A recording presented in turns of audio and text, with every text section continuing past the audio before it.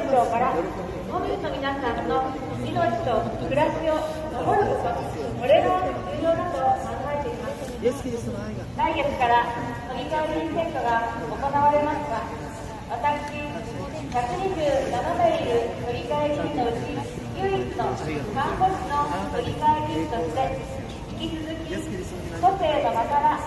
命と暮らしを守ること